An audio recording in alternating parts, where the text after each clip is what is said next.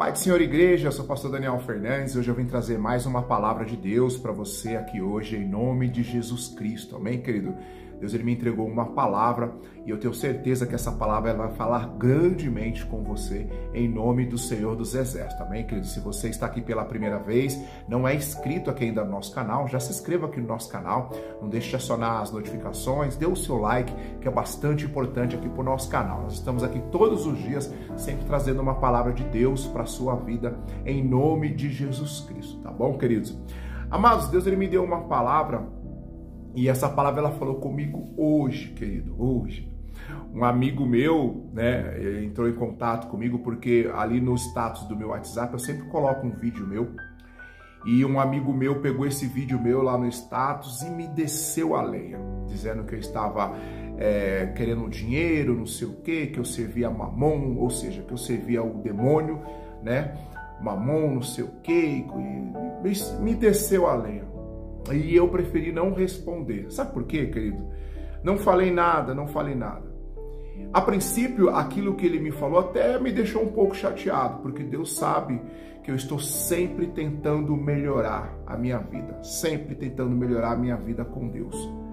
Sabe, querido, estou orando mais, buscando mais, lendo mais a Bíblia, vigiando cada dia mais e mais. E aí vem essa pessoa que não sabe muitas das vezes da minha caminhada e julga. Por quê? Porque tem pessoas, querido, que vão tentar te colocar para baixo. Então, pessoa, tem pessoas que vão tentar te arrebentar. Sabe por quê? Porque você está fazendo algo. E quando você começa a fazer algo, começa a incomodar. Se você não quer incomodar ninguém, não faça nada. Isso em qualquer lugar da sua vida, na sua casa, é na igreja, é no seu trabalho. Se você não quer, querido, incomodar as pessoas, quer ser chamado de bonzinho, não faça nada. Não faça nada de diferente. Mas se você fizer alguma coisa, pode ter certeza, as pessoas vão te perseguir as pessoas vão começar a colocar nome em você. Lembra de Neemias? Neemias foi assim. Neemias ele estava fazendo um muro, se juntou lá é, Sambalate, Tobias e começou a, a querer a insultar ele. Queriam matar Neemias, queriam acabar com a vida dele. Enquanto Neemias estava lá no muro trabalhando, eles lá de baixo chamando Neemias: "Ei, desce aqui, vamos conversar". Sabe? Você quer se promover. Você quer tomar o lugar do rei. É assim que as pessoas pensam, querido. Mas sabe por quê? Porque você está fazendo alguma coisa. Você está fazendo. Quando você não faz nada, ninguém, ninguém se sente incomodado. Muito pelo contrário, até te elogio. Ah, ele é bonzinho. Ele é legal. Mas não é, querido, é porque você não traz perigo para essa pessoa. Você não traz ameaças para essa pessoa. Bobagem isso, querido. Eu estou trabalhando para o reino de Deus.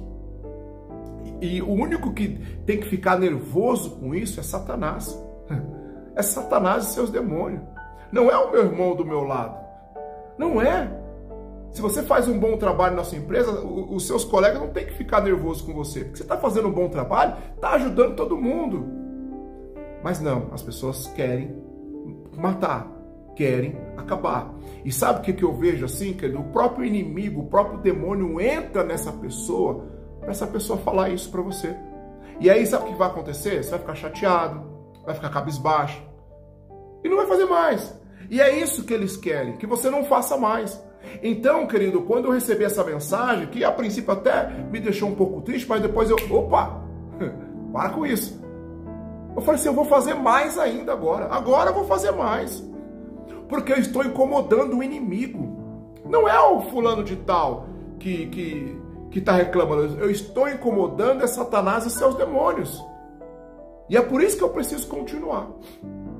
Calúrias vão seguir.